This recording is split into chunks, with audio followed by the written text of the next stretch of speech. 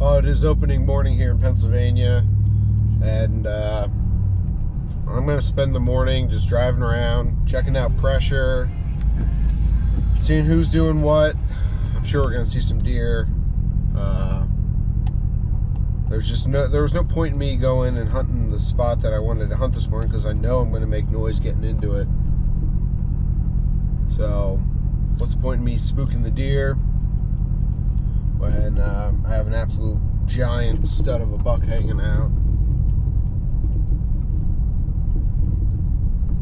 I'll move in the.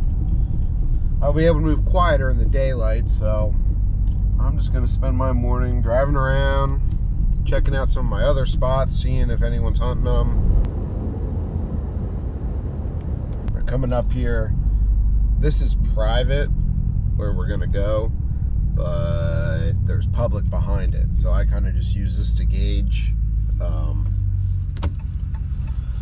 use this road to gauge what could potentially be available on the public land if I were to ever go and hunt it. It's just uh, it's a difficult spot to get to. Got to go upriver, and uh, with all the rain we've had in the past week, there's no way I can get to it right now.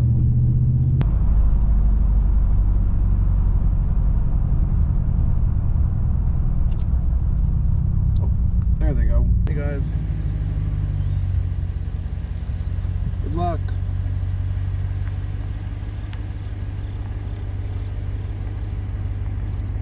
Good luck. Hello. Yeah, there's another one back in there. There's a couple of them back in there.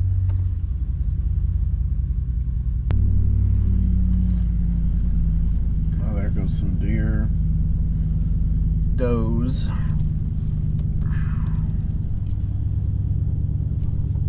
There goes a couple more doe.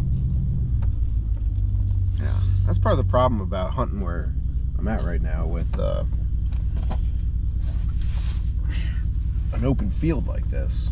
You got to walk through the field to get to any kind of a hunting spot.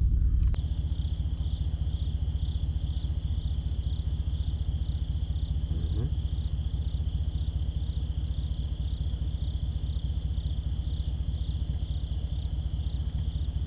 Yeah. Handful of deer out here, but uh, gotta get no horns. So, well, that's not something you see every day. Guy going hunting on a bike. Well, if that is not the absolute just pinnacle of Pennsylvania hunting, I don't know what is. I I've, I drive this road all the time. I've never seen seen anything like that. But hey, he's got DUI. Maybe he's Amish. I don't know. At least he's getting out there. Hopefully, he's hunting the property that he's supposed to be hunting. That's always a question when you're in Pennsylvania. So. Wow, I just got down to the old nursery property here. Oh, I gotta get under this tree.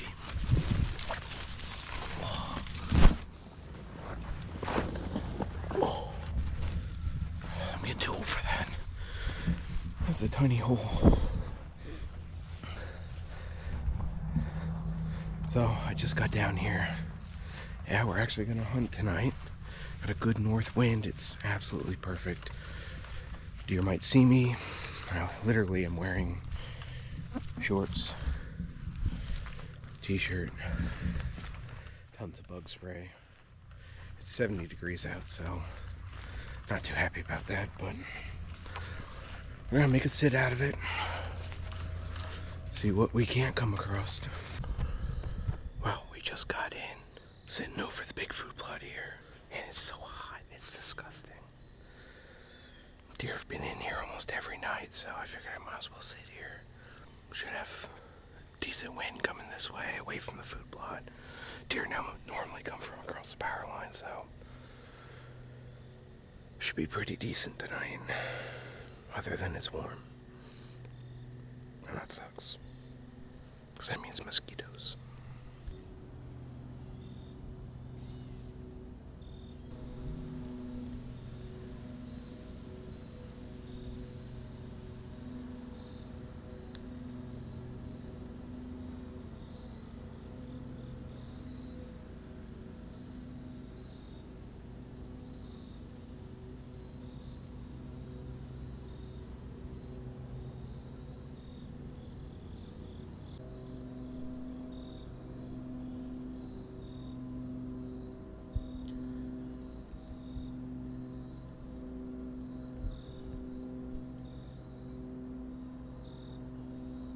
I promise you right now, I haven't been here for more than three or four minutes. I don't even have the camera mounted to the tree yet. I can't, basically, I can't shoot without. Well, I could shoot, but it's not gonna be on camera. They're also 50 yards away right now, so looks like two mature doe. I'm assuming there's got to be fawns somewhere with them. It's definitely a good sign come muzzleloader season, because I'm gonna be in a ground blind over here, and uh, I'm gonna have the kid with me. He's been dying to come out, so I'm gonna have Parker come out with me during muzzleloader. I just spotted the third deer. But if it was muzzleloader season, one of those doe would be done. Be a chip shot at 50 yards.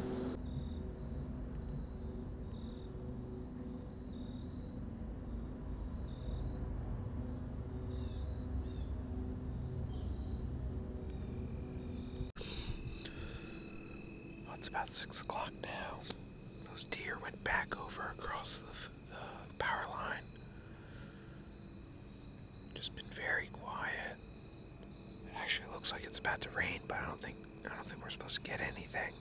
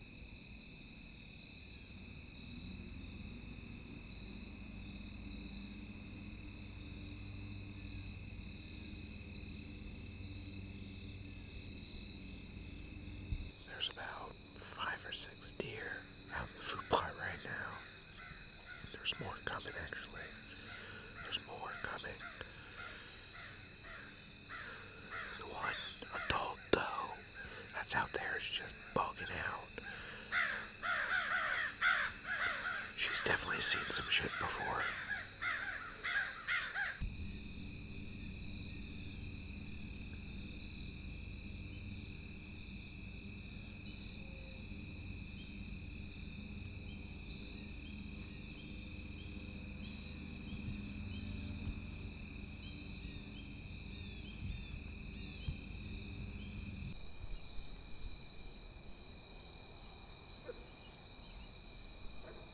But it's just freaking deer galore here tonight.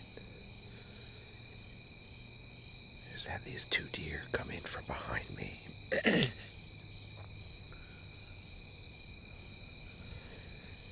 mean, an acorn area. Uh, it's a pin oak, so they don't get very big. I look over and there's a fawn running to me. And next thing you know, the mom's there, standing there.